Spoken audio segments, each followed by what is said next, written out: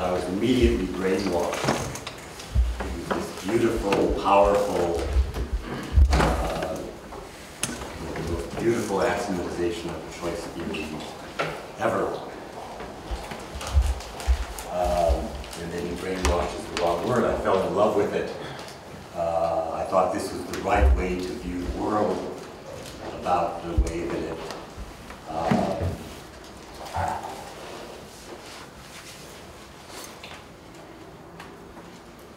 in the domain that the model talked about. Uh, and over the course of many years, uh, I've thought about that model. And of course, uh, increasingly, I think, over that time, it's become clear that not everybody is as enamored of the model as I am. Very early in its history, um,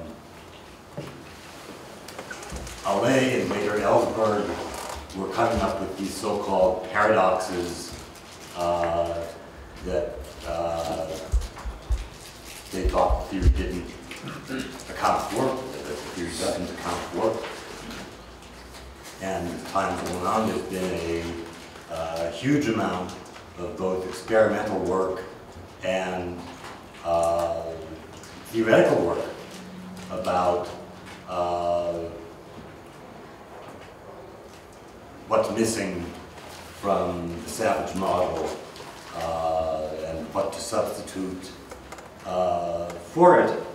And of course, there's a um, implicit divide between uh, applied economists who still uh, use expected utility as the default uh, theory of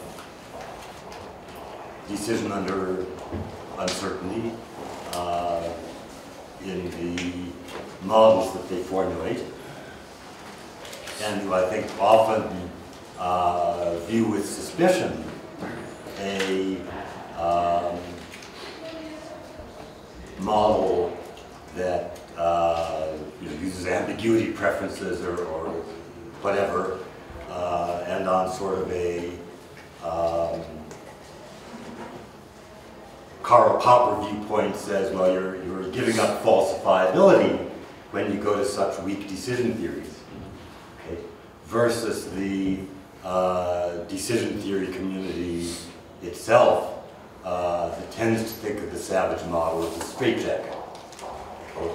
And um, so, uh,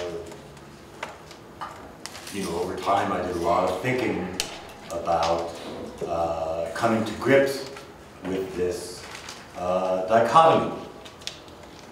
And uh, let me mention before going into the substance of the talk itself, that in recent years I've been very fortunate uh, to have a collaborator in this uh, research and thinking, and this is uh, Fatemeh Borhani, and the paper that I'm going to talk is joined with Fatemeh.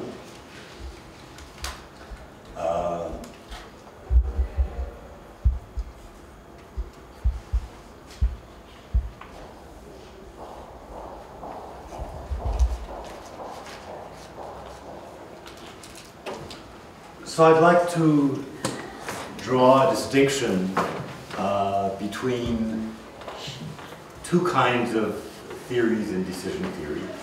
One is uh, representation theory, and the other is revealed preference theory. And of course, um, in uh, the theory of budget-constrained optimization under certainty, we have a theory uh, of utility maximization and uh, a primitive uh, concept of that theory is the preference relation or the utility function, which is unobserved and has a lot of structure. Uh, a minimum transitivity and completeness and all these nice axioms uh, that you recall from the first year of graduate school. Um, and in contrast to that, is revealed preference theory. And the focus of revealed preference theory is uh, let's talk about what we can actually observe and write axioms in a restricted language uh, that talks about only that. Okay? And uh, so you might summarize by saying revealed preference theory is scrupulously atheoretical. Okay? And then uh, you want to search for minimum conditions under which uh, you can derive from your uh, observational axioms or behavioral axioms uh, a representation in terms of the more structured kind of theory that has developed in parallel, be it the utility theory of the consumer uh, in, in, the case of certainty, or, as, as we're going to do here, uh, something very close to Savage's theory. Okay.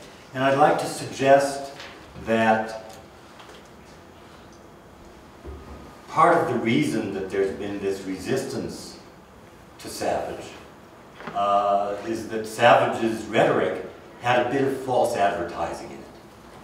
Okay? He called his theory a behavioral theory, okay? which would lead you to believe it was a revealed preference theory. And there's one respect in which it actually uh, was a, or is a behavioral theory, uh, and that is the Savage axioms don't talk explicitly about probability. Okay? Uh, and so there is no, um, you know, probability is part of the, the representation. Okay? But in another sense, um,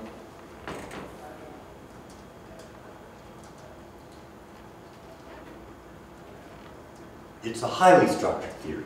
Okay? So uh, what's the, if you read Savage's book, he's got a, a, beautiful discussion, intuitively getting the problem going. He's cooking himself a three egg omelet. And he breaks two eggs and they're nice eggs. And he's, then he's got the third and he suspects maybe it's rotten. And so he either has to eat a two egg omelet and not be uh, completely satiated at the end of his meal, or he's got to break the third egg into the omelet, and if it's rotten, it ruins the whole thing. Okay? So what are the acts? The acts are to cook the two eggs that he's got, or to break the third egg. Okay? And I've just described those acts to you in words. Okay? Um, and you understood them fine. No. Huh? because I mean, you, you mentioned savage. I understand what you said about omelette. But savage is, act, they map something to something. The domain is not clear to me at all from your... That's, that's just what I said. I told you what the acts were, and I didn't talk about that. Exactly. But you, okay, so, okay, so I misunderstood. I thought... No, no. You were saying this is very clear. Now I'm, now I'm saying, you know, Savage takes this example that he's put in his book. And he does and he, and he claims to be going straight from that example to his theory. Okay? And the first thing he says to you is, you don't really understand what the act of cooking a two-egg omelet is. So let me tell you how to represent it. Okay? We've got this Boolean field of events of, and the, the uh, elements, the events are sets, and the elements of the sets are, use the word, but they're Leibnizian possible worlds. Okay, if you've ever read Leibniz's theory of monads, that's savage. Okay, and uh, an act is, and then there are consequences of an act. Okay, and um, for the time being, Savage lets you think you know what a consequence is. Okay, and later he backtracks Okay, I've got some quotes in the paper that substantiate this criticism of him. But he, he says, uh, an act is a mapping from states of the world to consequences. Okay, and you can fill in the details for yourself. Okay, and you can treat all acts this way. Uh, there's an act of, uh, you know, the weather forecast calls for rain, and I could either stay home, go out for a walk with an umbrella, or go out for a walk without an umbrella. Okay? And there are consequences in various states of nature. For instance, I might go out for a walk and be totally surprised that I meet Mick Jagger on the street. Okay? And there's a state of nature in which that happens. Okay? But if I don't take a walk, if I stay at home, I'm, there's no state of nature in which I meet Mick Jagger. Okay? Now I bet you didn't think about that when you thought about the act of taking a walk, right? So you were really missing something, okay? And you really needed this structure of the Boolean field of events and, and the mappings from uh, to consequences to uh, formulate acts of derived entities. Okay? Of course you didn't. Right? The fact, the fact that you weren't thinking about Mick Jagger doesn't mean you don't know what it is to take a walk. Okay? So what Fatemeh and I want to do, okay, is, is go back to what Savage said he was doing. I have to learn to, okay, as I mentioned, so, so Savage talks about states of the world and consequences, and we're going to, um, these are, these are his primitive entities. And we are going to uh, resurrect at least states of the world as derived entities, uh, which is where we think they belong, and uh, we're going to have state-dependent utility, which is going to uh, enable us not to talk about consequences at all. Um, but Edi Karni has written a series of papers uh, in which he makes the point that I've been trying to make. And he says, an entity that is best regarded as being in the mind of the decision maker should not be a primitive entity of a theory that tries to get from uh, data about uh, the, the agent's choice situation to data about the choice that the agent makes. Okay? So he's implicitly contrasting, you know, when, when you talk about going from data to data, that's revealed preference.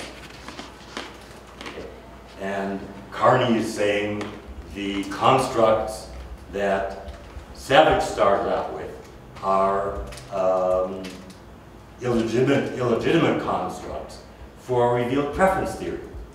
Okay? And of course, lots of people, um, starting with Allais, Allais, for instance, read Savage, and, and I read part of their skepticism as being saying, look, Savage, you're not really giving us a revealed preference theory like you promised to do. Okay? And once we get, we need a Boolean algebra of events, even to define an act, it's a very tiny step to put a probability measure on that. Okay? And if I'm a non-Bayesian, you know, I want to get off the boat as soon as you tell me we have to have a Boolean algebra of events in order to define an act. Okay?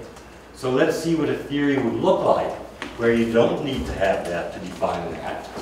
And then let's see whether it's reasonable to posit that um, maybe uh, the agent has a private uh, state space and Boolean field of events inside his mind. Okay?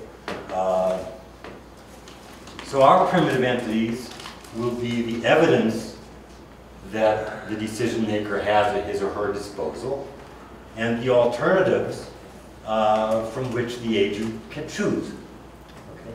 And uh, I want you to take evidence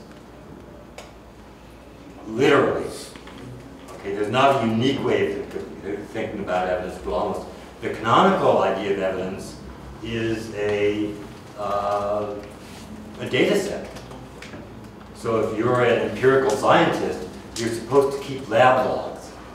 Okay, and you go out you go to uh, an elderly chemist and uh, he started his career before there were computers, and he didn't computerize all his lab logs. And so from the beginning of his career till the time the computers became uh, endemic, uh, there are shelves and shelves of notebooks.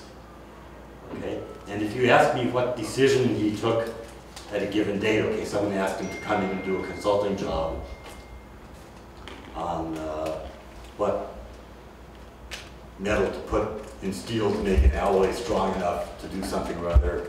And uh, I can look at the date of his consulting job, and I can go to the shelf of notebooks prior to that date. That's his evidence. May I ask you? Yes. Will, will this evidence be finite or infinite? Uh, I'm going to take it as being finite, okay? Um,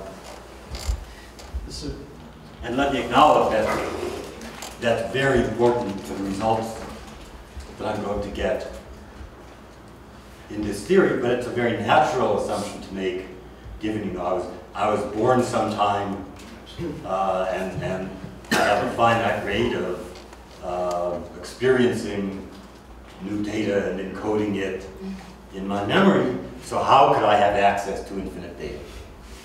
Yes. so crucially, this is the moment uh, uh, that you're introducing the dynamic, well, the, uh, the egg splitting example was already a dynamic example. So from this point on, we realize that there, uh, there is some sort of uh, sequence of available data, evidence sets. Uh, so, and you are going to take that sequence as observed, the date of Okay, the evidence. that's the next thing, that's the next thing I'm going to say to you, no. Okay, uh, so I, I said that there, there are several, um, interpretations that, that we think are reasonable interpretations for evidence, I gave you the canonical one. Uh, the other interpretation, again, if you think of an applied scientist, there are things every applied scientist knows okay, that there's a, um, there's a, uh, element that's, uh, you know, the only element that reacts with some other element, and it's also the only element that has a, uh, boiling point in some range of temperature. Okay, and this is something that every chemist read by his first year of graduate school, if not earlier, okay? And we can take it for granted that this, this applied chemist um, views the evidence that a sample has a boiling point in this range as uh, tantamount to the evidence that the uh, element uh, reacts with this other element that, it, that the, the element in question uniquely uh, reacts with. So that gives us uh, a different notion of, of, a- of an evidential state as being an equivalence class of data sets. Well, let me Is it okay draw. ask you a question here? Hmm? Another question. Yeah. You have not said anything about acts in your model till now. I'm not going to say anything about acts uh, for a long time, but they're going to be a primitive. So it's a part, it's, it's going to be a part of the evidence we're going to think of. So for example, the act you're talking about? so for example, should I think of evidence in the following sense? That these were the acts which I, which I had taken in the past, for example, and these were the consequences together. You could think, you could think about past acts as evidence, but I don't want you to think about current acts as evidence. Okay? Um, uh, So let's think that uh, I have a coin, it's a- it's an oddly designed coin, Uh, and I think it might be biased towards heads or biased towards tails. And I have a research assistant. And in the morning I tell my research assistant, uh, you know, toss this coin twice and come back and tell me the results. And what I'm expecting the research assistant to do, there's a tree of possibilities.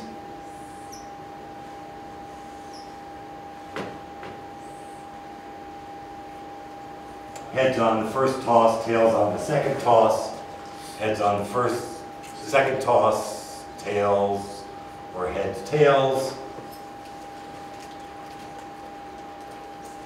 So my research assistant is going to come back after lunch and give me an ordered list of outcomes of tossing the two coins, of tossing the coin twice. And, and any path through this tree is a data set.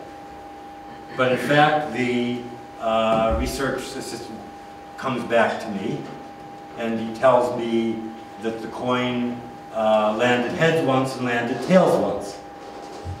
Uh, and so now we've merged these two data sets into one. Okay, so uh, you know, in, in this first example here,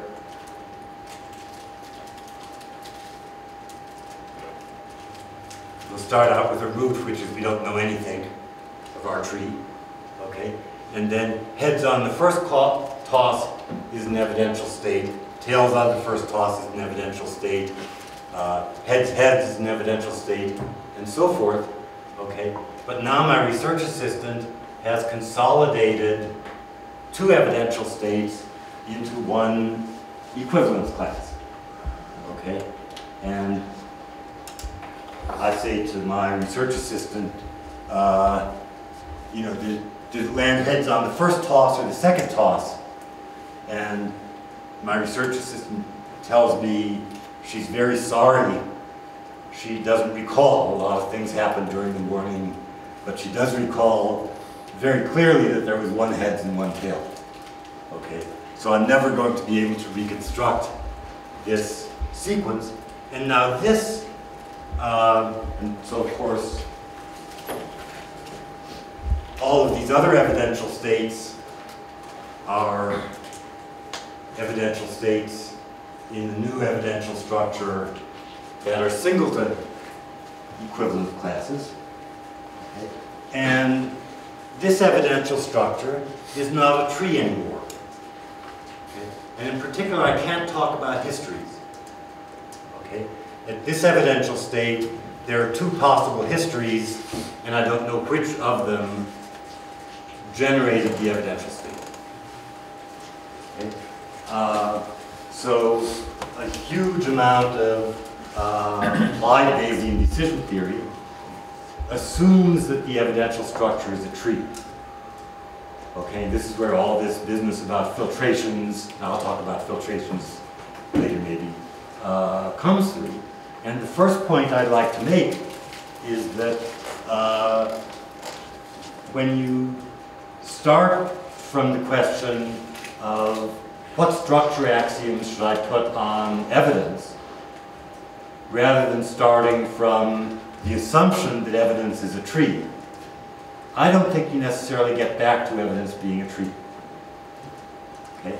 And um, the uh, so so we're going to get into that now. Okay? Uh, the two main points to be made, the two the two main points of this talk, uh, is is that first, even when evidential states do not form a tree, they can be mapped in essentially a way resembling Savage or an abstracted version of Savage into uh, events. Okay, and uh, but now the events are hypothetical entities corresponding to um, the mental state corresponding to evidence, rather than being uh, the physical uh, Leibnizian monads in my metaphysics of what exists in the world. Okay, and the second uh, basic result is that a condition reminiscent of Savage's sure thing principle is going to be uh, necessary and sufficient for subjective expected utility maximization in some, but not all models of the theory, in particular for some, but not all evidential structures. And specifically, uh, this savage-like condition is going to work when the evidential structure is a tree. And there are going to be counterexamples both to necessity and to sufficiency in cases where it's not a tree. Okay, so let X be an evidential structure. Uh, and uh, here's, here's the example I alluded to earlier of a non-tree evidential structure. In this case, a chemist might be certain that fluorine is the only element that forms a binary compound with argon, and also that fluorine is the only element that has its boiling point in this narrow range. Okay, so there are two, uh, you know, lab manuals reporting uh, outcomes of experiments, one in which uh, a sample close to absolute zero was gradually raised in temperature until it boiled, and the other in which the sample is mixed with a sample of uh, argon. Okay, and the these uh, two apparently different uh, experiments will be viewed as putting the applied chemist in the same evidential state. Okay, because uh, this evidential this this uh, chemist is working in the context of the deductive theory that he learned in graduate school that says uh, each of these has a unique answer, uh, fluorine, to what the element might be. Okay. Now, there's going to be a binary relation among evidential states, uh, which I'll denote by sigma. And x sigma y means x is at least as specific as y and maybe more specific. Okay? So if I've got um, uh,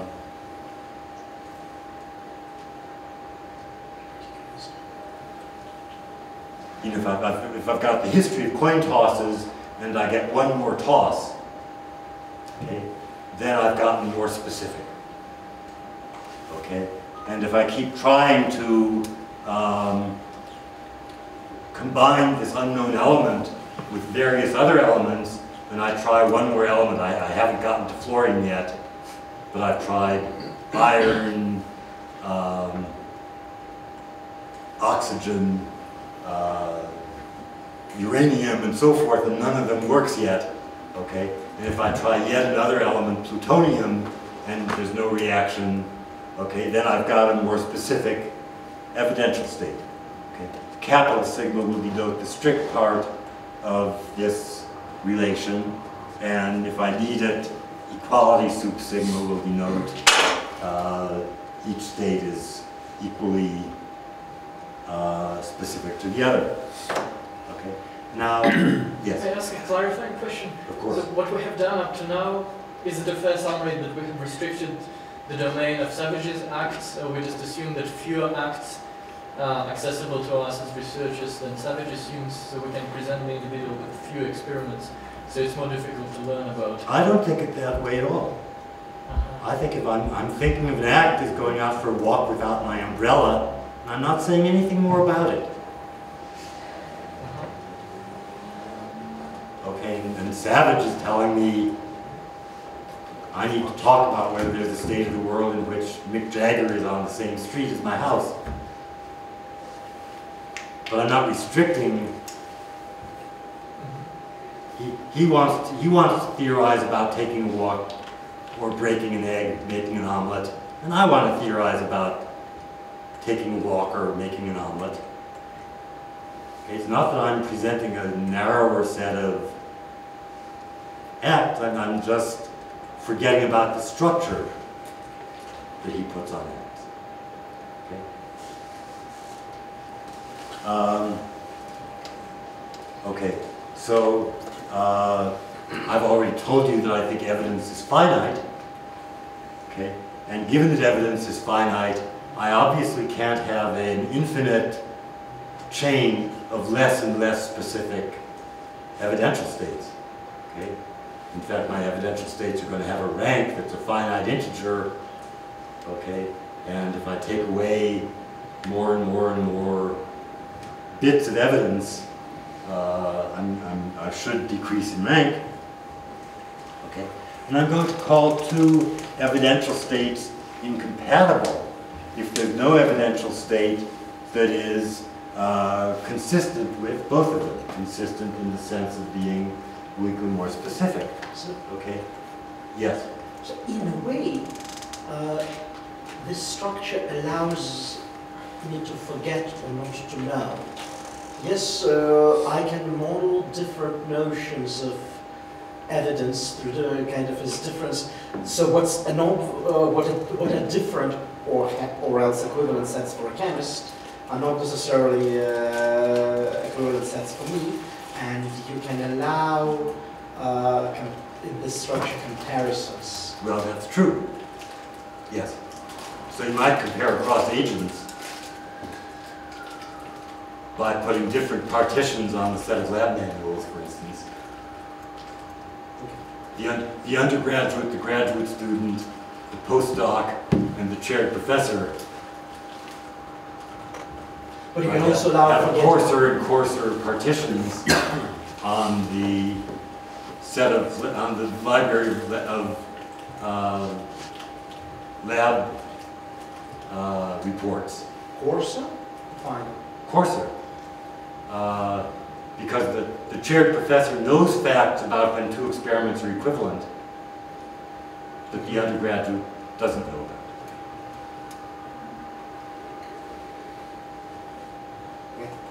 Okay? So, um, this incompatibility uh, relation is going to be important. Note that if I know the history of coin tosses, then heads on the first toss and tails on the first toss are incompatible.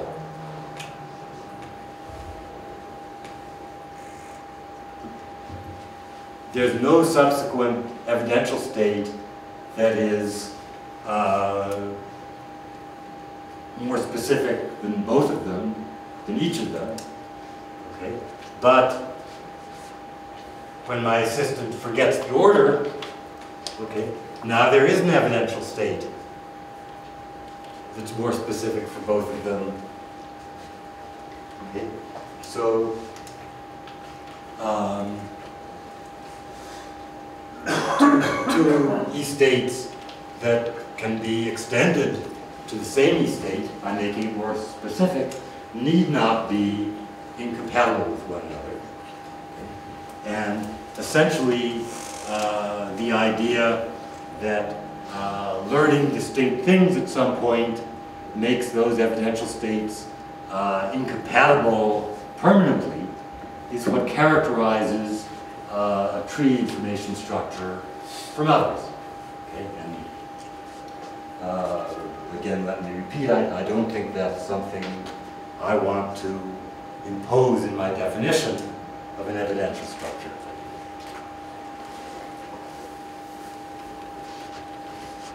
Okay, so uh, let's get through this now. Uh, Are there intuitive questions now before we go into hardcore axiomatics?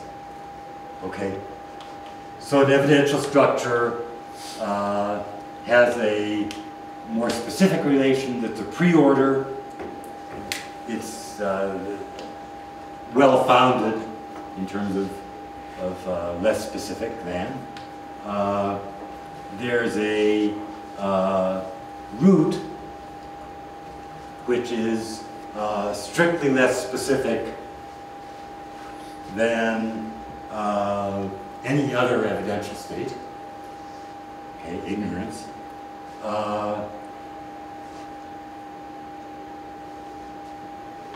if I get more specific in X than in Z, then I can take uh, one step back from X. Okay, and, and find the Y such that X was obtained from Y by adding one more bit of information. Okay? Um, basically, for mathematical uh,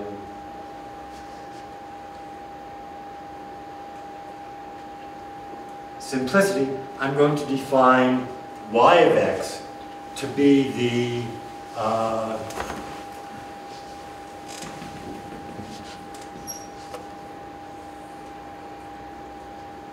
the set of uh, evidential states that are immediately more specific than the evidential state I'm interested in, and I'm going to take it that y of x is finite. Okay.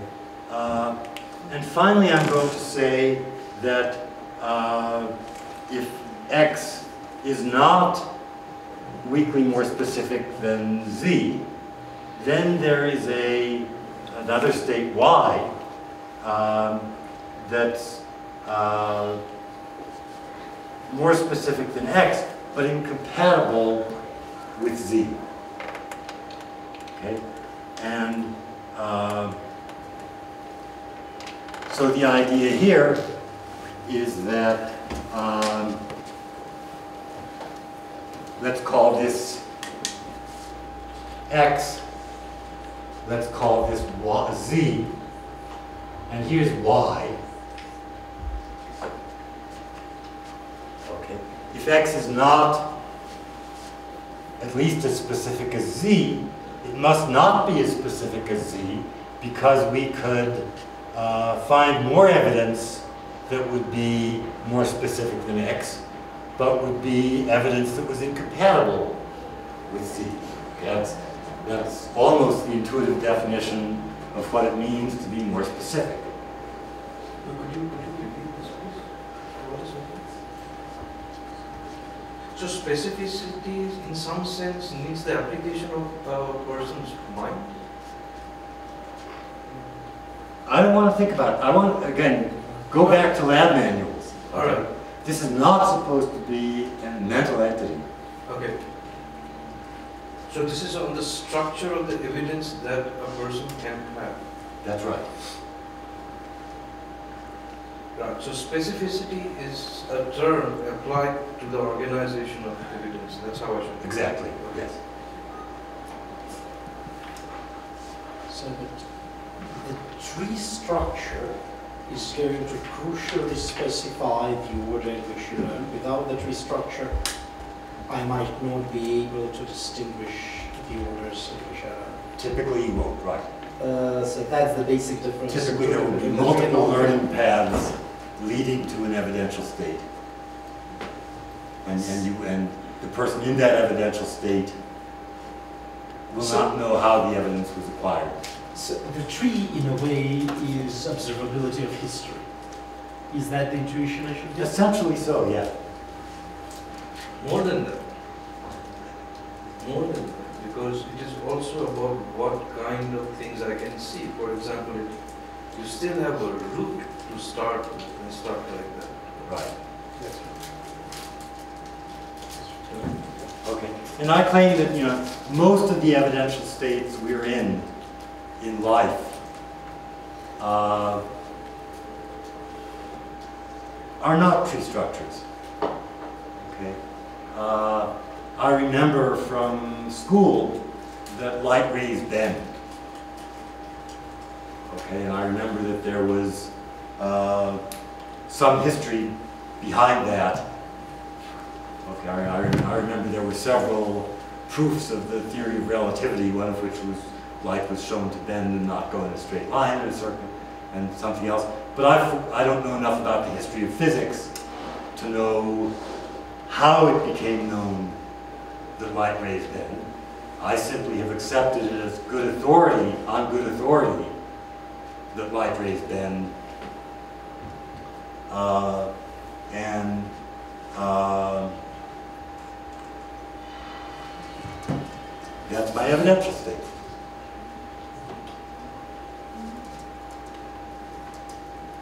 Okay, now let's go to the classic example, which is uh, coin tossing, of course. And I don't need to specify this. Uh, in fact, I should have taken out the slide because it's just a lot of formal nonsense that you all know what coin tossing is. Okay? But I think a more useful slide would be to introduce Savage at this point. And so Savage is going to start out with the state space.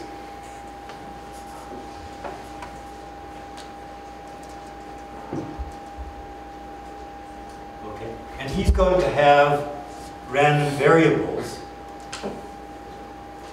X1 is going to be the first toss. Well, I don't even know how to draw this. X2 is the second toss.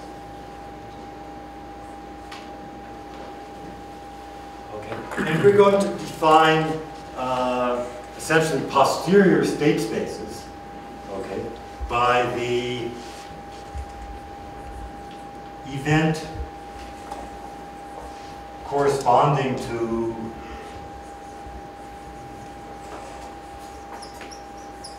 the sequence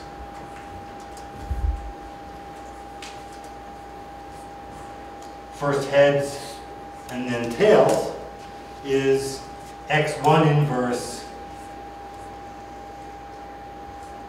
of heads intersect x2 inverse of tails. Okay, and so in general, um, for any toss sequence, uh, H, T, H, we're going to have a event consistent with H, okay, and its complementary event, of course, would be consistent with tails on the first toss, okay, and then a sub-event of that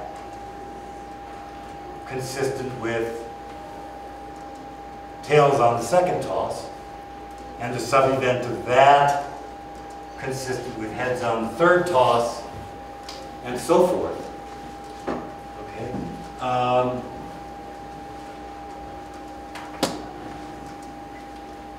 and this is essentially defining a mapping from evidential states into the state space where the more specific than relation corresponds to subset relation in the state space. Okay? Um,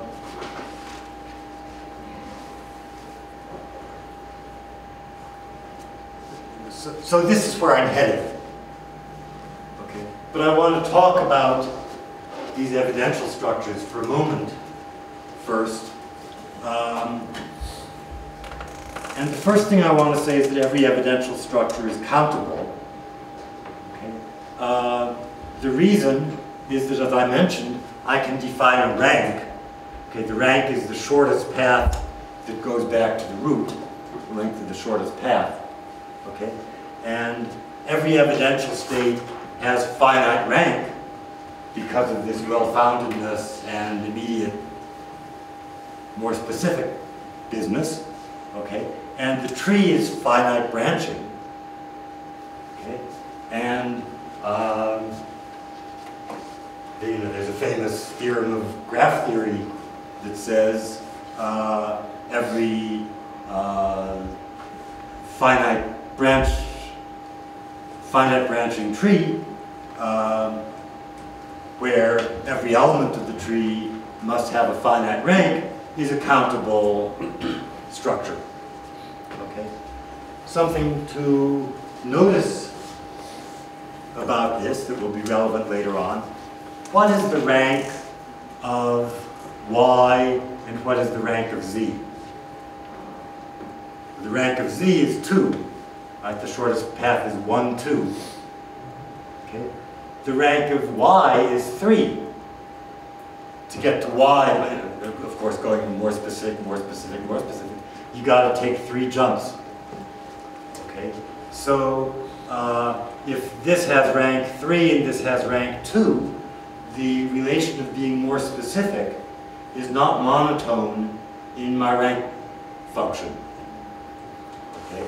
And um, that essentially later on is going to be why this sure thing principle, like condition that I introduce, is not going to match up nicely with expected utility. Again, uh, what characterizes a tree, one, one feature of a tree, is that the rank structure of a tree necessarily is monotone in the graph theoretic picture of the tree. Okay, and so this pathology uh, won't occur. So why do you say it's countable and not finite? Well, if I've got countably many tosses of the coin, for every n there's a, there are E states where I've tossed the coin n times, then the set of all evidential states is a countable set. But you say every E, Finite. every E structure is set of all, I can understand what you're saying. Countable means either finite, Sure, sure, but I was just wondering why you did not use the word finite, that's okay. This is your house. because most e structures will not be finite, I, I would think. So, so structure includes what? I mean, I'm sorry. Well, this, uh, you know, any structure that satisfies these axioms is an evidential structure. Okay. Okay, and there are lots of structures satisfying these axioms Okay. that are not Fine. finite, but none of them are uncountable. So, so just to specific, well, we should be thinking of uh, what individual knows as being a point of the structure. And that's in the sense in which here, here is a finite amount of evidence. That's right. And the structure. But the entire is- structure. No, no, no ability, yes. exactly. Sure. Okay, it's just like saying we're picking a number at random, it's a finite number, but the set of numbers is not finite. Sure. And we're allowing, so unless, unless we have a tree, we're allowing multiple ways of learning the same thing. Exactly.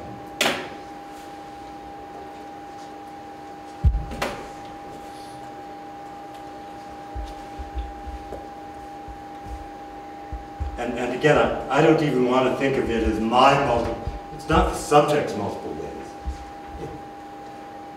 Right, from the subject's point of view, there's an evidential state that can be generalized to less specific states in two alternative ways.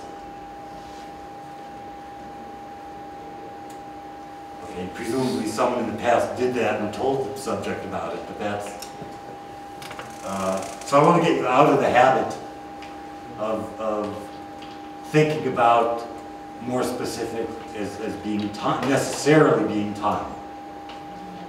If the subject remembers how he learned, then effectively he has a tree because not only Exactly. he knows uh, that this is fluorine, but he knows how he learned.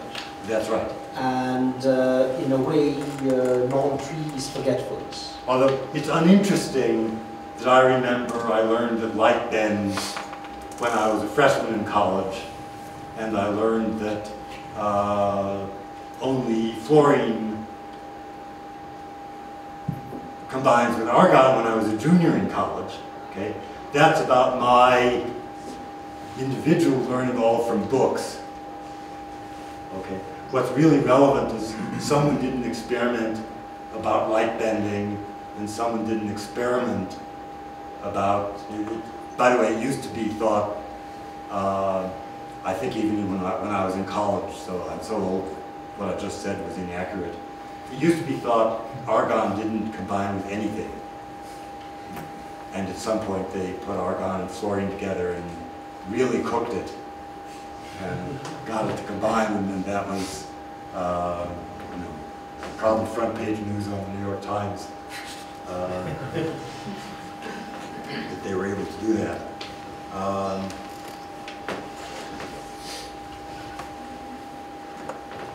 So now, um, what this thing that I've drawn from, for you shows is that a mapping from states to evidential outcomes leads to a mapping back downwards from evidential states to subsets of the state space, to events. Okay? And what I want to do in the rest of this talk is forget about the fact that Savage defined such a downward map and that other statisticians define the downward map in terms of an upward map from you know, Kolmogorov probability spaces basically. Let's forget about that and let's just think about the um, downward map. Okay, so this is like an abstract algebra. Uh, we're not worrying about the details of how things get constructed. We're just worrying from a axiomatic uh, perspective about what properties the constructed entities have. Okay? So uh, I'm going to say that uh, a field of subsets of a set, a field of subsets is just a Boolean algebra where the set theoretic operations are the lattice theoretic operations, uh, sup and min of the uh, algebra, okay? Uh, such, you know, you know what it is, it's the right things belong to it, and it's closed under union, intersection, and complementation, okay? And for any topology on a set, I'm going to define a field of sets to be the sets that sometimes they're called clopen, they're both closed and open. The set is, the set is open, it's in a topology, and the subset and, and the um, complement is also open. Okay? And then, uh, so in topology, there's something called a uh, base of a topology, which basically is you take a, a set of sets and you say any union of sets in this class is open, and any finite intersection of sets in the class is open, that's a base. Okay? So I'm going to generalize the notion of a field of sets generated to a topology to a field of sets generated by an arbitrary subset of the power set by saying let's treat the subset as a base of a topology and then use this definition to define f of s. Okay. Uh, and then the other concept that I need is called an ultrafilter. So uh, a filter uh, of a set of sets is a subset of that set such that uh, if some subset is in the filter, then every superset of that set is also in the filter. And also, if two subsets are in the filter, then their intersection